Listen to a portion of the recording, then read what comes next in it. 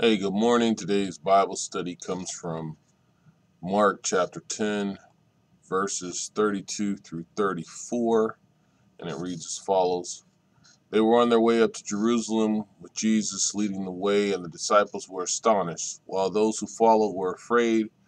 Again, he took the twelve aside and followed and told them what was going to happen to him. We are going to Jerusalem, up to Jerusalem, he said, and the Son of Man will be delivered over to the chief priests and the teachers of the law. They will condemn him to death and will hand him over to the Gentiles, who will mock him and spit on him, flog him and kill him.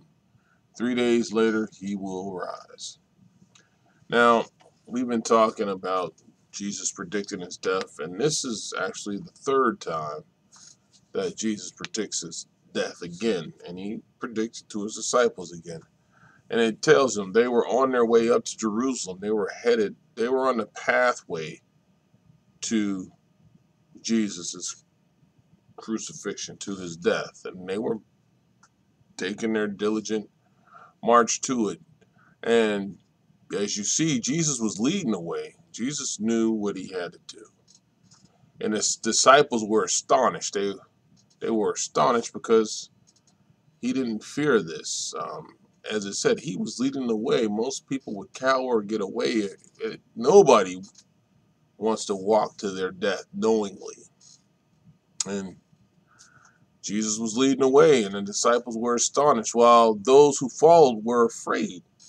People were afraid. They didn't want him to die. They knew what he had said was going to happen prior, and they were afraid. They were scared. And again, he took his 12 aside. He took his disciples aside. And he told them what was going to happen to them. Jesus once again reaffirms and tells them exactly what he had told them before. We are going up to Jerusalem, he said, and I will be given over to these chief priests and these teachers of your law. The ones who go against me, who say they are for me, the ones who claim to know the word and don't see the word, the ones who will set in motion to have me crucified. They will condemn me to death, and then they will hand me over to the Gentiles. So they're going to pass judgment on me, and then they're going to give me to the Gentiles, who are going to say bad things and mock me and tell me I should do this and that to get out of this and spit on me. That's my grandmother used to say that's the worst thing you could do to a person. And they're going to spit on him. They're going to flog him. Flog him means beat him. And that's with actually anything they want. But usually it was cat's tails, which are these whips that have nine tails on them and they have different objects in them from rocks to glass to thorns, and they're going to kill him. And he tells them, they're going to kill me. I know they're going to kill me. You should know they're going to kill me.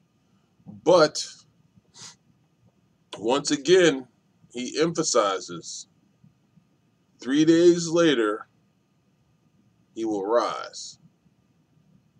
He has said that in all three predictions of his death that on the third day he will rise.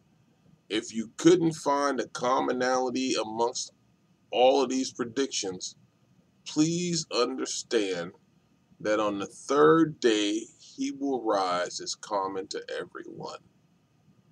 So Jesus predicts his death a third time and knows what's going to happen. And he goes on doing his father's work because he's leading the way a true leader, an obedient leader, a true servant, and an obedient servant. He was leading his people, showing them don't fear death. Don't be afraid of what this man here can do to you. Be afraid of the one that can cast you in the hell. Be afraid of not being obedient unto God. Man is going to do what man is going to do. But I serve a greater power than man. And on the third day, I will rise.